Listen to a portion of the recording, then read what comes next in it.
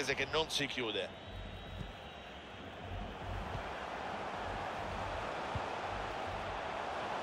Lautaro Martinez. Manovrano elegantemente con questa serie di passaggi.